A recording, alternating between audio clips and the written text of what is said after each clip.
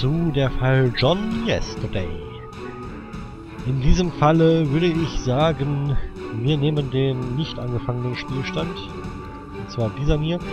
Beim letzten natürlich wie immer eigentlich nur den Sound eingestellt, aber das habe ich wohl vergessen. Ja. L'enfant de Don Quichotte. Ein wenig Französisch kann ich ja. Das tut mir leid, ich habe es nun mal gelernt in der Schule. Da kann ich nichts für.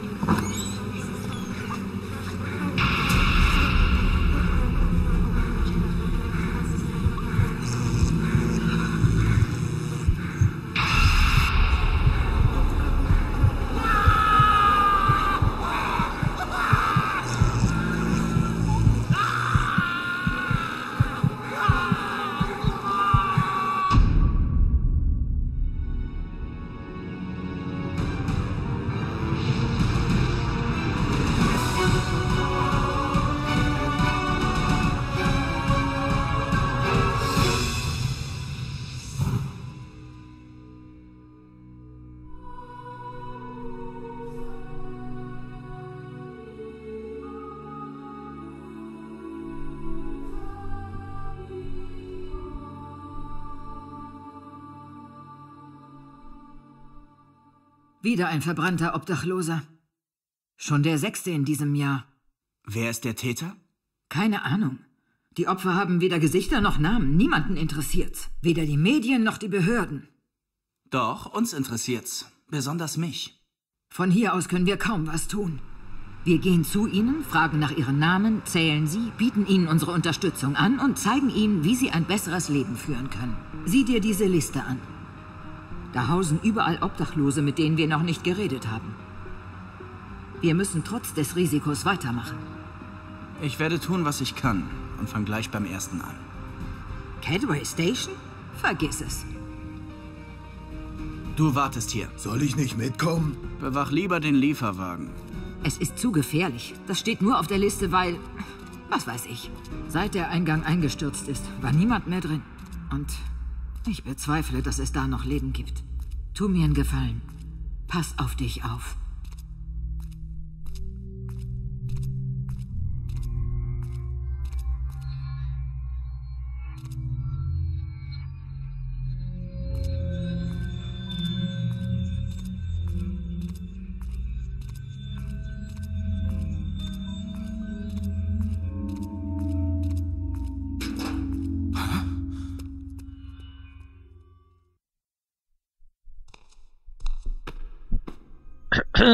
ja, Leute.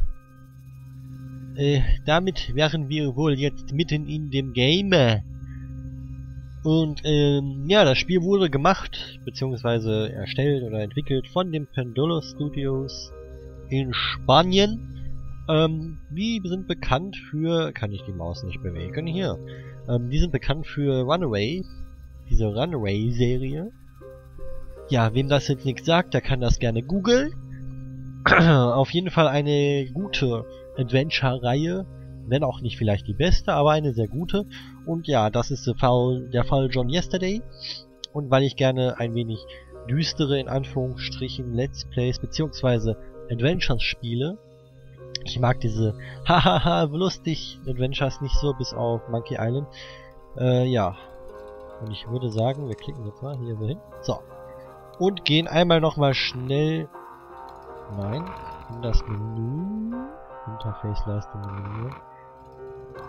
Das ist aber der allgemeine Sound. Ich möchte gerne nur... Ah, alles klar, okay. Äh, ich möchte gerne... Ey!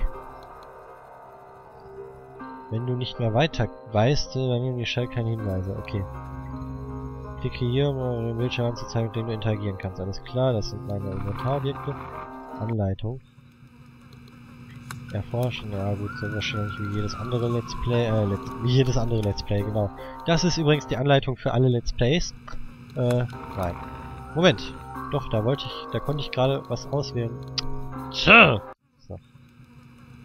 Nee, doch nicht. Ich dachte, das wäre so ein Lautstärkenregler. Ja, dann werde ich mal allgemein dies ein bisschen runterschrauben und hoffen, dass das äh, nur den, die Musik betrifft und nicht allen Sound. Ja. Äh, ich werde gleich mal dieses Dings hier benutzen. Ähm. Das ist aber sehr sporadisch, diese Anzeige, also... Naja. Ähm... Schauen wir uns erstmal an, was wir überhaupt haben an Gegenständen. Dein Ausweis, der dich als freiwilligen Mitarbeiter der Kinder des Don Quixote identifiziert. Okay. Ein Handy. Sieht aus wie so ein, Ein schlechtes iPod. Schlechtes iPhone, meine ich. Handy. Eine Taschenlampe. Eine Taschenlampe. Was sagen wir da? Ähm, jetzt habe ich immer noch nicht ganz... Ein Koffer klemmt zwischen den Trümmern, welche die Treppe versperren. Nehmen wir diesen So Koffer. sehr du auch am Griff ziehst.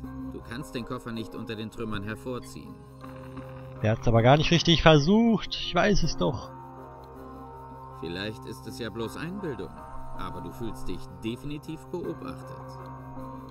Du könntest die Mosaiksteine einen nach dem anderen von der Tafel nehmen, aber du lässt es. Ja, wenn du das sagst, dann lasse ich das natürlich.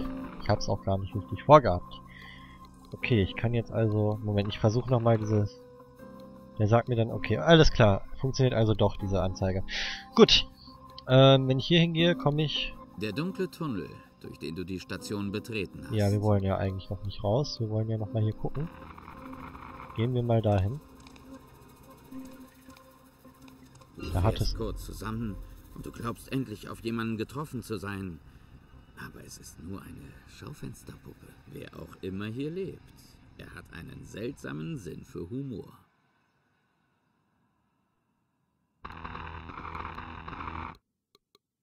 Interessant. Abgeschlossen. Unmöglich zu öffnen. Trümmer blockieren die Tür von der anderen Seite. Vor allem, das kann er so sehen. Er hat da durch das Bullauge geguckt, wo man so viel durchgucken kann und da hat er das gesehen, dass man da nicht durch kann. Ja, was haben wir denn noch hier? Hier liegt eine Cola-Dose. Also das nervt ein bisschen, dass der sich so dahin teleportiert. Das ist ein bisschen scheiße. Dein Mund ist trocken, du hast Durst. Wäre die Dose doch nur voll. Im Augenblick würdest du alles trinken, sogar Bier, das du eigentlich verabscheust. Das stimmt nicht. Auch wenn die Dose leer ist, hebst du sie auf. Vielleicht kannst du sie später irgendwo füllen. Natürlich. Ich gehe in eine verlassene U-Bahn-Station, wo fast nur Penner leben, heb da eine Cola-Dose auf, um sie später zu füllen. Welcher kluge Mensch tut das nicht? Ein Elektrokabel von mehreren Metern Länge. Vielleicht ist auch noch Pfand auf der Dose. Als du das Kabel aufhebst, erinnerst du dich an Ralph Martinson, einer deiner Kommilitonen, der vor ein paar Monaten erhängt im Toilettenraum aufgefunden wurde. Okay, ich bin also Student.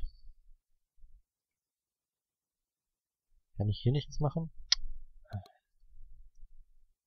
Nee, okay. Also, was habe ich jetzt? Kabel, Cola-Dose, alles klar. Was kann ich noch angucken? Sie scheint zu weinen. Du bist weit davon entfernt, diese arme Puppe umarmen und trösten zu wollen. Nee. Da hat er aber ausnahmsweise recht. Teleportier dich. Oh, da sind wir hier. Hier ist ein bisschen mehr los. Da muss ich einmal gucken. Alles klar, nur diese Stellen. Ein seltsames Durcheinander von Trümmern und Spielzeugen. Wohnen etwa Kinder in dieser Station?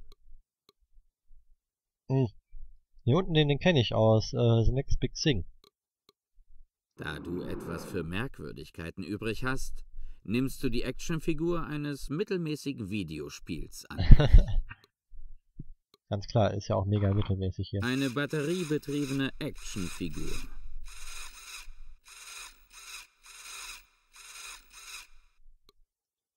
Cool. Wollte ich immer schon mal haben. Nichts von dem, was ihr...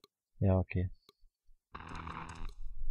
Ein, Ups. ein elektrisches Keyboard. Vermut, Vermutlich von du schlechter nimmst das Qualität. Keyboard mit, obwohl keine Batterien drin sind. Das lässt sich ändern. Eine Batterie... Wie kann ich denn, Eine Batterie... kann ich denn Sachen kombinieren? Ein Keyboard. Ich muss doch mal die Anleitung lesen. Erforschen. Klicke auf eine Stelle, bis du dorthin zu gelangen oder auf der Bewegung. Interagieren. Klicke auf das Hand-, Zahnrad oder Sprechblasen-Icon um Hotspots. Ähm. Ich kann aber... Ja. Ja. Ein Wohnen... Ähm, stopp. Eine Kann ich jetzt nicht Ein Key... damit irgendwas machen? Nee. Okay. Ja dann. Trümmer blockieren die Tür. Die Trümmer sind zu schwer. Du wirst sie nie bewegen. Wer denn dann? Also hier? Der Ring eines Basketballkorbes sieht etwas mitgenommen aus. Im Gegensatz zu deinem Freund Cooper hast du dich nie für Sport interessiert.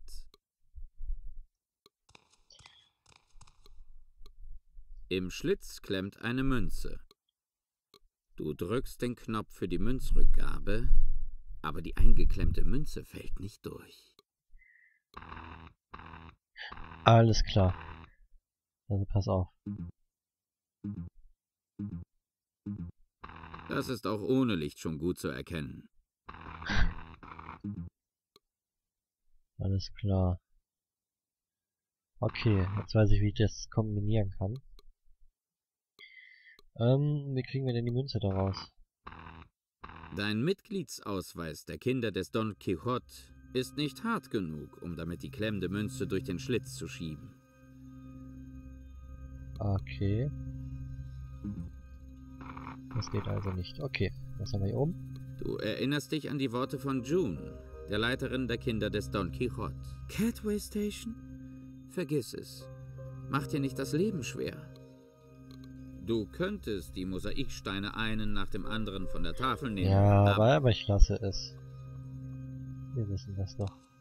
Kann ich jetzt nicht da hoch? Doch, es geht.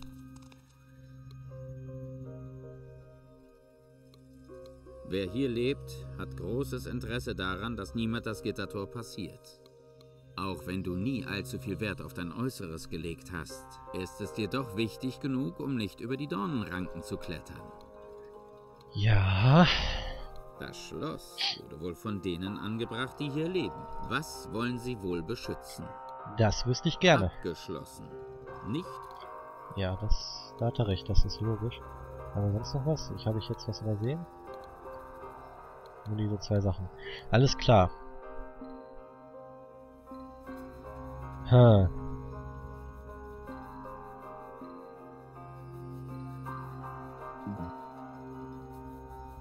Ja gut. Dann komme ich jetzt hier raus da. Dann würde ich sagen, gehen wir mal ähm, einen anderen Weg. Du bist mit der Absicht hierher gekommen, den Opt und du wirst nicht gehen, bevor du Alles klar, wir machen jetzt erstmal hier, ähm, so sehr du machen wir das Seil mit Du dem... befestigst ein Ende des Kabels am Griff des Koffers, legst es um die Säule und befestigst auch das andere Ende am Griff. Eigentlich wollte ich ihn jetzt so rausziehen. Ein... So sehr du auch am Griff ziehst. Du stützt einen Fuß an der Säule ab und ziehst mit aller Kraft am Kabel. Aber auch so kriegst du den Koffer nicht frei. Nicht? Mit dem Keyboard, natürlich. Okay. Mit dem Mannequin, na klar. Ah, Okay, ich habe keine Ahnung.